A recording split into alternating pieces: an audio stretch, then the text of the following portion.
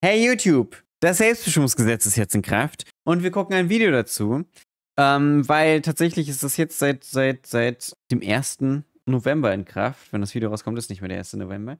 Und äh, es gibt ein Video dazu und auch wie es in der Schweiz ist, weil das gibt seit 2022. Und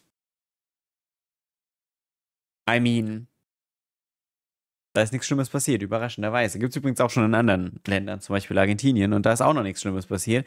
Äh, möglicherweise ist alles einfach Panikmache. Und mit möglicherweise meine ich, ist es so.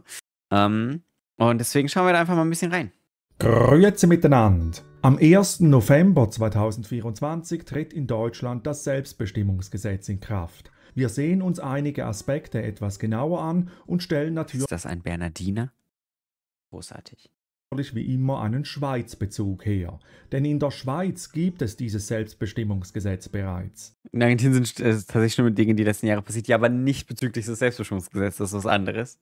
Beginnen wir aber mit Deutschland. Was soll dieses neue Gesetz ändern? Im Prinzip ist es relativ einfach. Ja. Das eingetragene Geschlecht und der Vorname können mit diesem neuen Gesetz ganz einfach geändert werden. Betroffene Menschen müssen keine rechtlichen Verfahren mehr durchlaufen Ja. und auch keine Gutachten von Sachverständigen einholen. Wie gesagt, hier, das war wirklich eklig. Es wurden, also, wie gesagt, ich hatte noch Glück ähm, mit den, also mit den, mit den, mit den, mit den Fragen. So, gut, ich wurde nach Sexstellung gefragt, ich wurde nach äh, Masturbationsverhalten gefragt, ich wurde sogar nach Psyche meiner Eltern gefragt. Äh, was irgendwie nichts, also absolut komplett weit weg davon ist. Wurde gefragt, äh, ob ich mich sexuell hingezogen fühle zu Kindern ähm, und welche Unterwäsche ich trage. Ich musste auch meine Unterwäsche vorzeigen. Ähm, aber damit hatte ich tatsächlich noch Glück, weil es gab GutachterInnen, die auch tatsächlich wollten, dass man die Hose runterzieht, was absolut übergriffig und eklig ist. Äh, bei mir wurde aber tatsächlich auch mein Gesicht begutachtet, ob das denn weiblich aussieht. Und ich dachte mir so, also ich habe es nachher in meinem Gutachten gelesen. Ich wusste nicht, dass das währenddessen gemacht wird, aber es stand in meinem Gutachten drin, ähm, dass ich weibliche Gesichtszüge habe. Und ich denke mir so, was, also sorry, aber was hat das denn damit zu tun, ob ich trans bin oder nicht? Was ist, also wo sind wir denn hier? Wird als nächstes noch irgendwas vermessen da, oder was? Und das fand ich, also das war schon echt widerlich einfach. Also es war einfach wirklich widerlich. Und sowas sollte halt schon lange abgeschafft werden. Jetzt ist es endlich, Gott sei Dank, weg. Weil das einfach nur krass war. Um das Geschlecht und den Vornamen zu ändern, ist künftig die sogenannte Erklärung mit Eigenversicherung gegenüber dem Standesamt ausreichend. Ein Gutachter hatte ich, der wollte, dass ich komplett nackt auf deine Waage standen muss. Das tut mir so leid. Weil auch das ist. äh, Also, erstens, was hat auch die Waage damit zu tun? Was ist das für ein. Hä? Das ergibt ja gar keinen. Also, das ist einfach nur eklig. Das ist einfach nur auch Machtmissbrauch und eklig. Für Minderjährige gibt es spezielle Regelungen, die die Sorgeberechtigten mit einbeziehen und voraussetzen. So, jetzt klären wir erst einmal die Begrifflichkeiten. Gut. Für wen ist dieses Gesetz überhaupt gedacht? Für trans- und intergeschlechtliche sowie nicht-binäre Personen. Ja. Das so ziemlich alle. Transpersonen sind Menschen, die nicht dem Geschlecht angehören, das ihnen bei der Geburt zugewiesen wurde. Ich liebe alles daran. Vom Queerlexikon, okay, gut. Gut, klar. Vom Queerlexikon die Definition genommen, dann ist dann. Da ist zwar immer auf der richtigen und sicheren Seite. Intergeschlechtlich sind Menschen, deren körperliches Geschlecht nicht mit der medizinischen Norm von eindeutig männlichen oder weiblichen Körpern zugeordnet werden kann. Und nicht binär sind Menschen, die nicht eindeutig Mann oder Frau sind, also sie verorten sich jenseits dieses binären Spektrums von Mann und Frau. Für genau diese Menschen soll es künftig einfacher werden, ihr eingetragenes Geschlecht anzupassen. Dass das sogenannte Transsexuellengesetz durch das neue Selbstbestimmung Ja, genau. Ich finde auch cool, dass er sagt, hier das sogenannte transsexuellen Gesetz, weil transsexuell ist halt ein Wort, was eigentlich nicht mehr genutzt werden sollte. Ähm, weil es halt einfach einmal eine Fremdbezeichnung war und eine, die pathologisierend war. Ne? Also transsexuell wurde eben als Krankheit angesehen, beziehungsweise als, äh, als höchste Form des Transvestismus. Ähm, und wurde dementsprechend halt eben, wie gesagt, als Krankheit eingeordnet. Und das ist halt nicht cool. Deswegen sollte man es vielleicht nicht mehr so nutzen. Es gibt noch Menschen, die nutzen das als Eigenbezeichnung, aber es nicht als große großer Überbegriff ist nicht so cool. Zusätzlich, was halt immer noch wieder verwirrend ist, ist einfach das Ding, dass transsexuell da drin steht. Mit, sexuell, mit Sexualität hat das nichts zu tun. Das ist eine geschlechtliche Geschichte und keine sexuelle Geschichte. So, und ähm, was hier einfach easy wäre, einfach trans. Das wäre das Simpelste. Das ist viel einfacher. Das ist ein viel kürzeres Wort. Das ist ganz, ganz einfach zu nutzen. Wir nutzen einfach trans, easy way. Ähm, sonst gibt es noch theoretisch transgeschlechtlich als Wort. Das ist halt einfach das Gegenstück zu Transgender aus dem Englischen. Transgeschlechtlich geht auch. Äh, Transident geht auch, gefällt mir persönlich nicht so. Aus dem Grund, äh, dass es halt wieder nur. Ich mag es nicht in dem Kontext, weil es halt viel von, von Turfs genutzt wird, als ja, das ist ja nur eine Identität und nichts Echtes, was natürlich Bullshit ist, ne? Aber ähm, deswegen ist es halt nicht einfach nur eine Laune oder sowas, sondern es ist, hat halt was direkt mit der geschlechtlichen Entwicklung, mit der Geschlechtsidentität zu tun. So und mit der, mit dem Geschlecht zu tun. Und es ist nicht einfach nur ein Ding, was man sich irgendwie aussucht und so, wie, keine Ahnung, das ist so meine Identität gehört jetzt, dass ich, weiß ich nicht, so einen gewissen Kleidungsstil trage oder so. Das ist so nicht, das ist was anderes. Ähm, und deswegen mag ich es persönlich nicht. Das ist jetzt nicht per se falsch oder so. Es gibt auch Menschen, die das nutzen. Aber ich bin einfach kein Fan von. Gesetz abgelöst wird, ist nicht einfach ein wohlwollender Akt gegenüber betroffenen Personen, sondern hat handfeste juristische Gründe.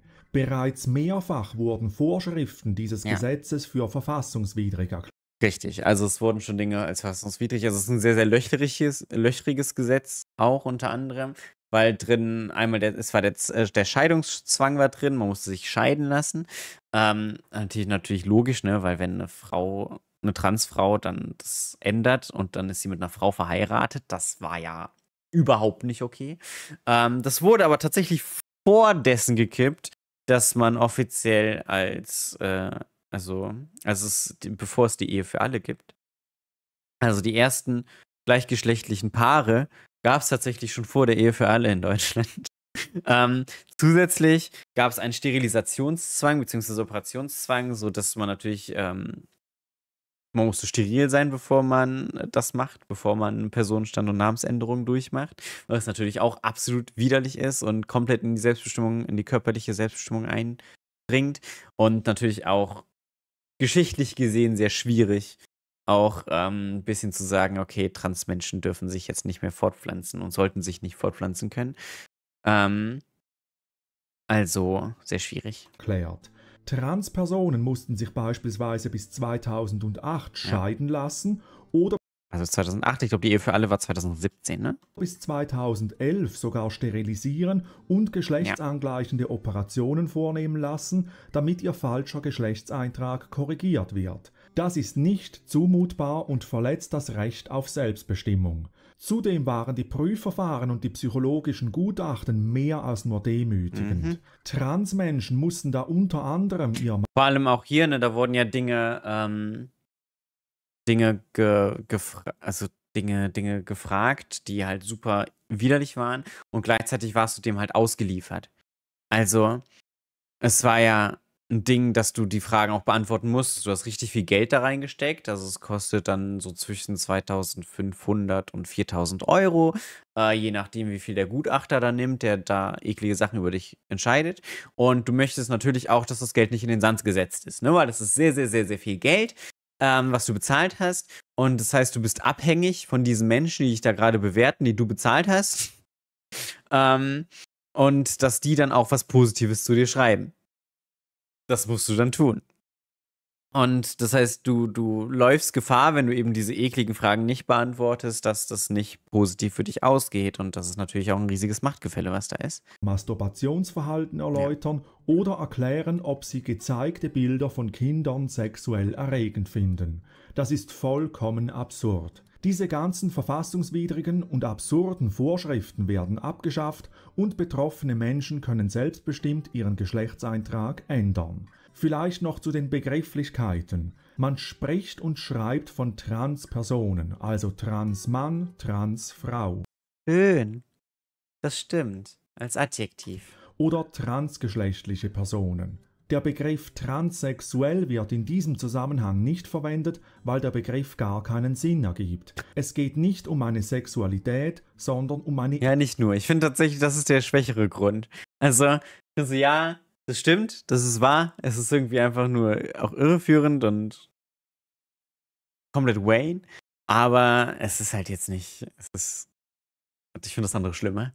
Identität. Und logisch, der juristische Begriff im transsexuellen Gesetz diente der Diskriminierung betroffener Personen. Ja. Gewisse Aspekte reißen wir nur am Rande an, weil sie sowieso klar sind oder mit dem Vergleich zur Schweiz mit abgefrühstückt werden. Okay. Wir werden uns zum Beispiel nicht das frühstücken wie die Schweiz. ansehen, ob es trans- oder intergeschlechtliche Menschen schon immer gab. Ja, gab's. Krass, ich weiß. Aber das gab's schon immer. Ja, die gab es schon immer. Das ist nichts ja. Neues. Und nein, man wird. Es gibt tatsächlich auch sehr viele geschichtliche, ähm, geschichtliche äh, Aufzeichnungen dazu. Das ist tatsächlich nothing new. Und aber selbst wenn, also ich, das ist halt auch so eine Argumentation, wo ich denke, die ist eigentlich ziemlich irrelevant. Also ich finde sie gut, dass sie eingebracht sind, so. Ähm, weil sie ja immer wieder aufkommen. Aber vom Grunde finde ich das irrelevant, weil es doch scheißegal, ob es jetzt es gibt oder schon immer gab. Es gibt es ja dann jetzt. So, also es gibt es jetzt offensichtlich so. Es gibt Menschen, die sind trans, es gibt Menschen, die sind nicht binär. Jetzt müssen wir halt damit umgehen. So. Es ist scheißegal, ob es sie schon immer gab oder nicht. Und sie brauchen halt Menschenrechte.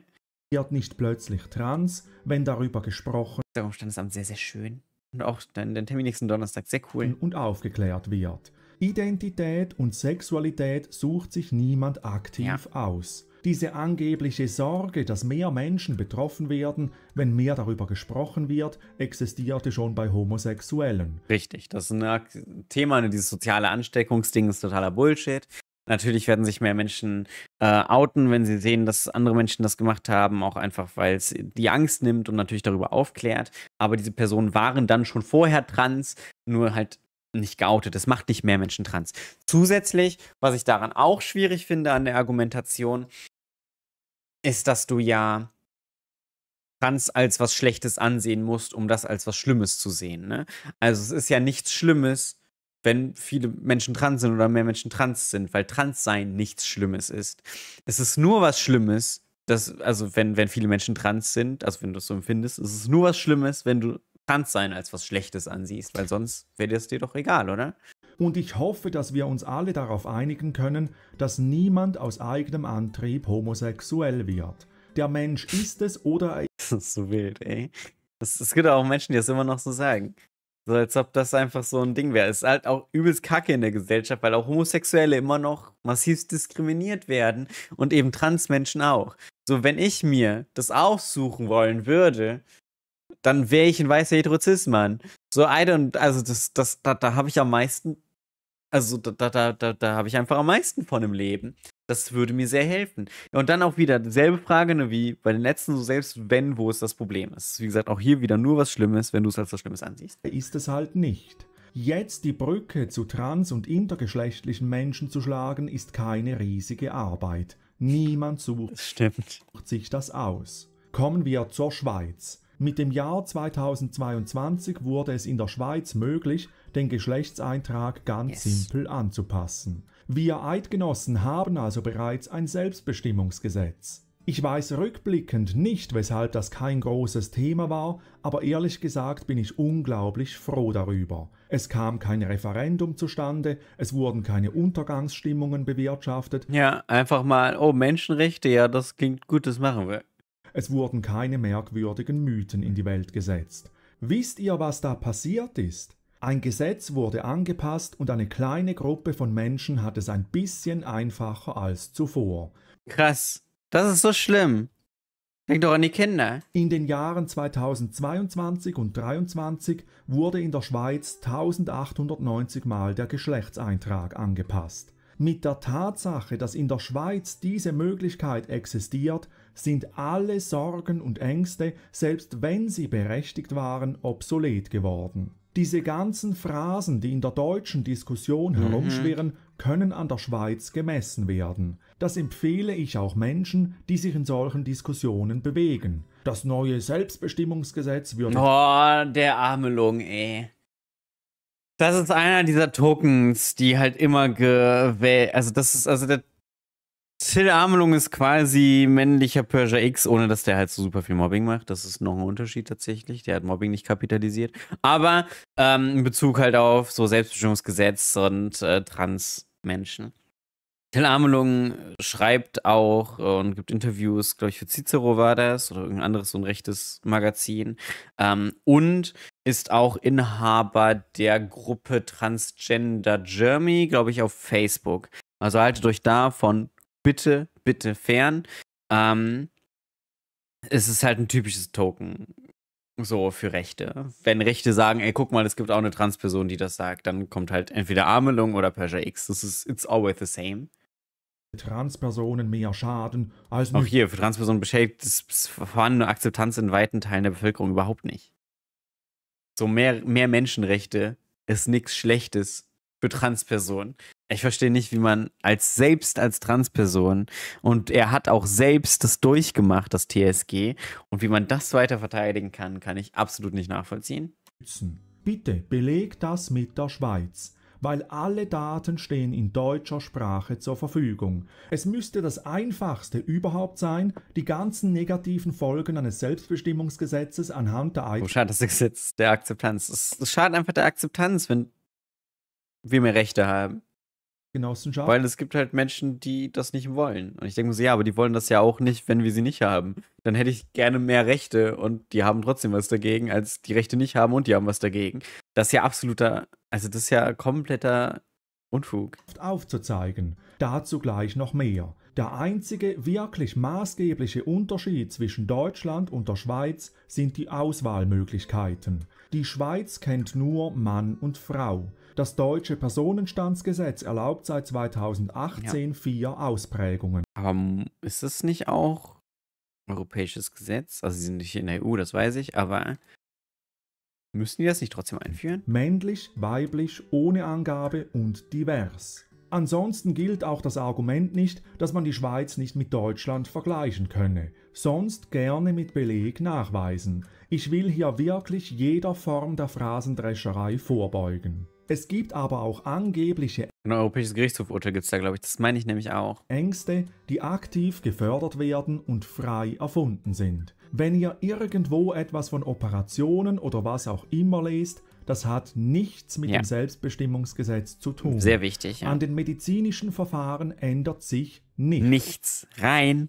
gar nichts. Nichts ändert sich dadurch. Absolut nichts. Man kommt nicht schneller an Hormone, man kommt nicht schneller an Operationen.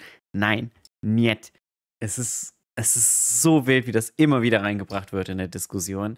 Und dann gesagt, ja, und dann werden Kinder operiert. Nein, werden sie nicht. Das ist absoluter Bullshit. Es hat nichts damit zu tun. Und auch davon Kinderschutz zu sprechen, lass die Kinder sich ausprobieren, lass die Kinder sie selbst sein und nicht irgendwie auferlegen, ihr müsst jetzt Mann und Frau sein und ihr müsst das sein, was wir bei der Geburt eingetragen haben, sondern lass die Kinder sich ausprobieren und sich selbst finden. So, das ist doch das, was wir am Ende wollen. Und nicht denen direkt irgendwas aufdrücken von irgendwelchen Geschlechterrollen oder so. Und das ist, das hat nichts mit Kinderschutz zu tun. Absolut nichts. Zu sagen, ihr dürft davon nichts wissen oder ihr dürft das nicht machen oder keine Ahnung, Transmenschen gibt's nicht. Das ist kein Kinderschutz. Das ist einfach nur Bullshit. Und vor allem bei Kindern ist es, also auch Transkindern, ist es natürlich etwas, was zu sehr viel Stress führt, ähm, wenn sie selbst nicht wissen, wer sie sind oder nicht oder, oder halt von der Gesellschaft mitbekommen, dass sie schlecht sind, wie sie sind. Das, das ist kein Kinderschutz. Das ist genau das Gegenteil von Kinderschutz. Wenn das jemand behauptet, dann weiß er es nicht besser oder er lügt. Und vielleicht mal grundsätzlich. In so manchen Köpfen existiert scheinbar folgendes Szenario. Ein 15-jähriger Mensch besucht den Arzt. Ja, hallo Daniel, wie geht's dir? Ähm, Herr Doktor, mein Name ist Rose. Ich bin seit zwei Tagen eine Frau und würde gerne meinen Penis abschneiden. Hier, Operation. Schneiden. Ja, wunderbar. Um halb vier haben wir noch einen Termin frei. Ja, hey, genau so war das tatsächlich bei meiner GA-OP.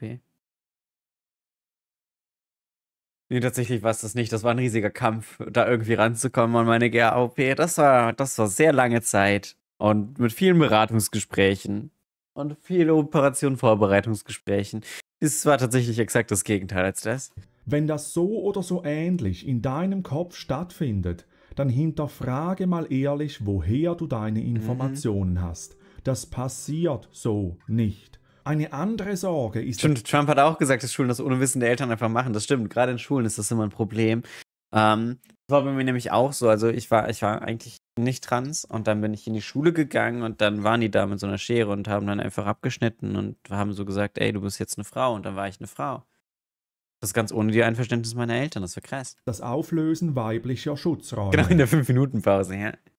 öffentliche Toiletten, Frauenhäuser etc. Das auch Quatsch. Selbstbestimmungsgesetz ändert am Hausrecht nichts. Gar nichts. Überhaupt nichts. Und übrigens jetzt schon gibt es Transfrauen, die in Frauensaunas gehen und in Frauenumkleiden sind und auf Frauentoiletten sind. Ich weiß, das ist krass, aber das gibt's jetzt schon.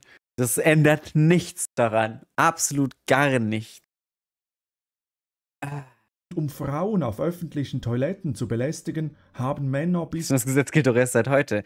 Ey, ich weiß, krasses Ding, aber auch schon vor meiner Personenstandsänderung, vor dem TSG, bin ich auf Frauentoiletten gegangen. Und wisst ihr, was krass ist? Es gab keine Schranke, die mich davon abgehalten hat. Und auch hier wieder dieses Jahr, als würden Männer das ausnutzen, um das zu machen. Männer, Männer brauchen das nicht. Also ich weiß nicht, wo ihr lebt und in welcher Welt ihr lebt, dass ihr denkt, dass Männer zum übergriffig sein in die Frauensauna müssen. Das ist absolut nicht der Fall. Erstens passieren die meisten, ähm, meisten Übergriffe in einem Bekanntenkreis. Das heißt, man kennt die Menschen, das ist nicht einfach random. Ähm, und zwar wirklich mit guter Anzahl die meisten. Und auf der anderen Seite ist es halt, wenn man übergriffig sein möchte, dann macht er das und geht nicht erst zum Amt, um da irgendwas zu ändern. Das passiert nicht, weil, also gerade auch auf Toiletten, dann geht er auf die Toilette. Da ist keine Schranke, da gibt es nichts, was ihn irgendwie aufhält, da drauf zu gehen, sondern er macht das einfach. Es ist, es ist, ich verstehe nicht, wie das, diese Hetze funktionieren kann, weil sie einfach so simpel ist. Einfach, wenn man mal drüber nachdenkt, was das für ein Quatsch ist. bisher nie einen geänderten Geschlechtseintrag gebraucht. Das haben wir bisher Ich musste meine Freundin anfangs auch mit auf die Damentoilette ziehen, weil sie nicht, sich nicht getraut hat und jemand vor den Kopf stoßen wollte. Ja, es war bei mir auch so. Ähm, ich hatte auch anfangs da Angst vor, halt Angst vor Diskriminierung auch. Ähm, und das ist halt auch etwas, worin sich dann irgendwelche transfeindlichen Menschen nicht reinversetzen wollen. In Transmenschen, wie es denen in dieser Situation geht. Aber das ist eh etwas, was in der Diskussion unfassbar oft fehlt. Dieses Reinversetzen mal in Transpersonen oder in Transkinder oder in, ne, also da fehlt halt jegliche Empathie einfach.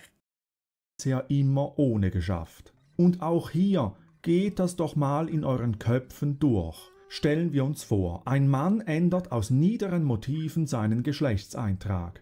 Aus niederen Motiven dringt er in ein Frauenhaus ein. Und wird dann übrigens auch diskriminiert vor, also der muss ja auch alles ändern, so als ob das so nix wäre. Also der muss ja dann schon zum Standesamt gehen, muss alle Verträge ändern, er muss die ganzen Bankkonten ändern, er muss, also das ist ja einfach so viel Aufwand. Und auf der anderen Seite kann er trotzdem einfach die Tür aufmachen und reingehen. So, und warum sollte er sich diesen Aufwand machen? Das ist so surreal. Und in allen Ländern, wo es ein Selbstbestimmungsgesetz gibt, ist das keine Sache, die passiert. Also, ich verstehe nicht, wie Menschen darauf reinfallen können. Das ist der billigste vom billigsten Populismus. Er belästigt da Frauen. Mitarbeiterinnen verständigen die Polizei und schildern die Lage. Triumphierend sagt der Belästiger aber, haha, ich habe meinen Geschlechtseintrag geändert. Und Surprise! Man darf trotzdem keine Menschen belästigen. Das ist trotzdem illegal und man darf trotzdem verwiesen werden. Also, das ist ja auch nochmal der weitere Punkt, ne? Also, tatsächlich, ich weiß, das mag jetzt auch wieder shocking sein, aber Frauen dürfen keine Frauen belästigen. Heftig, ich weiß das. Aber das ist nicht erlaubt. So. Und das machen Frauen tatsächlich auch. Auch Cis-Frauen machen das. Also es gibt auch Cis-Frauen, die andere Frauen belästigen. Und äh, auch dagegen kann man vorgehen und diese Person rausschmeißen lassen. Das ist tatsächlich ein Ding. Das funktioniert. Das ist.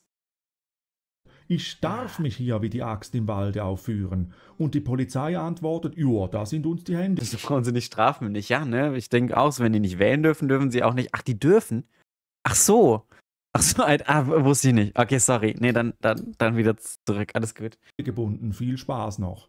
Das passiert doch so nicht. Und wenn euch diese Szenarien ehrlich Sorgen bereiten, dann müsstet ihr alles daran setzen, in Schweizer Frauenhäusern mal nachzufragen, wie das denn jetzt aussieht. Ihr müsstet euch tiefgehend erkundigen, ob. Ja, oder auch mal die Deutschen fragen, wie das denn bei denen aussieht und das Verfahren aussieht. Die ja auch, also die Frauenhauskoordination sagt ja auch, das ist Quatsch. Das ist einfach Panikmache. Denn überhaupt so passieren kann. Wenn ihr das nicht tut. Aber was wissen schon Profis davon? Irgendwelche Dudes auf Twitter wissen das viel besser. Und es einfach weiterhin behauptet, dann seid ihr nicht besorgt oder ängstlich, dann seid ihr mit an Sicherheit grenzender Wahrscheinlichkeit einfach transfeindlich. Ja. Es ist nichts Negatives passiert. Einer kleinen Gruppe von Menschen wurde ein bürokratischer Akt vereinfacht. Das ist alles. Die Schweiz ist der eindeutige Beweis dafür. Es gab keine große Aufregung, es gab kein Referendum, viele Menschen haben das gar nicht mitbekommen, niemandem wurde etwas weggenommen. Jetzt noch ein anderer Aspekt. In Deutschland wurde die Wehrpflicht ja ohnehin ausgesetzt, in der Schweiz oh, dieses Thema, ja. Ja, ich bin gespannt, was er sagt. Existiert sie und gilt nur für Männer. Da gab es natürlich die Sorge, Männer würden sich mit einem geänderten Geschlechtseintrag vor dem Militärdienst drücken. Und auch hier denke ich mir, vielleicht sollte man die Wehrpflicht abändern und nicht Menschenrechte beschneiden. Aber that's just my two cents zu der Geschichte. Passiert nicht. Die Zahlen geben es ja. Das ist ja aber auch nochmal das Ding, es gibt ja so viele Gründe, warum du das ablehnen kannst, ne? Also auch aus einer Wehrpflicht kommst du raus, ohne Personenstand und Namensänderung zu machen. Das funktioniert. Überhaupt nicht her. Und wer stand da wohl im Verdacht? Natürlich diese, diese vaterlandslosen Linken, die würden doch dieses Gesetz ausnutzen. Ja, ich wurde ausgemustert und habe außerdem verweigert. Ja, das funktioniert auch. Der medial einzige Fall, den ich finden konnte, war dann natürlich auch ein junger Kommunist, der, äh, oh nein, Moment, das war ein SVP-Mitglied. Uiuiui, ui, das hätte ich euch aber auch vorher sagen können. Denn Linke werden so ein Gesetz, das einer Minderheit hilft, nicht ausnutzen. Denn Schweizer Linke und Grüne haben so etwas wie Prinzipien und Werte. das findest du äh, unter Rechten tatsächlich sehr wenig für Rechtsbürgerliche unvorstellbar.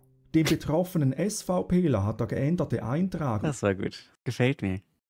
Zeitgenosse, ich kenne dich noch nicht, aber ich finde dich gut. Übrigens nichts gebracht, denn die Aushebung und Einteilung fand bereits vor der Änderung statt. Herzlichen Glückwunsch an der Stelle. Echter Patriot eben. Was gibt es abschließend zu sagen? Das Gesetz hat das Leben einer kleinen Gruppe von Menschen ein wenig einfacher gemacht. Der Schaden liegt bei Null, medizinische Fragen bleiben unberührt und auch andere Sorgen und Ängste sind unbegründet. Ja. Und wenn du jetzt findest, ja du linke Drecksau, das ist doch alles gelogen. Ja, du linke Drecksau, das ist doch alles gelogen. Das ist doch linksgrüne Propaganda von den Grünen. Bitte, dir steht ein ganzes Land zur Verfügung, dessen Daten in deutscher Sprache zur Verfügung stehen. Das ist ein guter Alert klippt das jemand? Stehen. Es ist also die Bringschuld der Gegner, ihre Ängste und Sorgen zu begründen. Ja, Oder, wenn sie denn redliche Menschen sind, davon Abstand zu nehmen. Zu sagen, ja, ganz so schlimm ist es dann scheinbar doch nicht. Die Schweiz steht ja noch. Und auch Deutschland wird mit dem vollständigen Inkrafttreten des Selbstbestimmungsgesetzes nicht untergehen. Versprochen. Selbstverständlich werden transfeindliche Kommentare und Lügen zum Selbstbestimmungsgesetz ausnahmslos gelöscht. Ihr findet alle Informationen in der Videobeschreibung. Nice. Lest euch das Zeug selbst durch, wenn es euch interessiert. Und wenn es euch nicht interessiert, kann es euch auch egal sein. Das stimmt. Euch wird nichts. Ja, wir haben ja auch den Artikel gelesen, wo drin steht, dass die Leute, die keine Ahnung haben, am meisten dagegen sind. Und dann denkt sich auch so, ja, dann halt dich doch einfach fern, wenn du keine Ahnung hast. Weggenommen. Aber lasst euch nicht von irgendwelchen Schmutzkampagnen aufhetzen, wenn es darum geht, einer kleinen Gruppe von Menschen das Leben ein wenig einfacher zu machen, während alle anderen überhaupt nichts verlieren. In diesem Sinne, merci fürs Zuhören und bis zum nächsten Mal. Bis zum nächsten Mal. War ein cooles Video. Vielen lieben Dank dafür. Ähm, hat mir sehr gefallen. War sehr schön. Alles einfach so auch sehr äh, ja, so unaufgeregt einfach nacheinander, einfach mal alles so ein bisschen aufgerollt. Fand ich super schön, fand ich richtig toll, auch richtig gut erklärt alles. Ey, deswegen vielen, vielen lieben Dank, Zeitgenosse, für das Video. Lasst da gerne Liebe da, lasst ein Like da, lasst einen lieben Kommentar bei Zeitgenosse und sagt, ja, geil, SBG ist, SBGG ist da. Hier, da könnt ihr das einmal machen. Macht das mal lieber jetzt, damit ihr später nicht vergesst. Einfach mal ein Abo da lassen, ein Like da lassen und vielleicht reinschreiben, ey, cool, das SBGG ist da, danke für deine Unterstützung. Guck mal, das ist doch richtig easy. Das könnt ihr einfach jetzt machen. Das ist Unterstützung. Unterstützung gerade unter Linken sollte mehr sein meines Erachtens nach. Wir sollten uns mehr wieder unterstützen und dann macht es doch.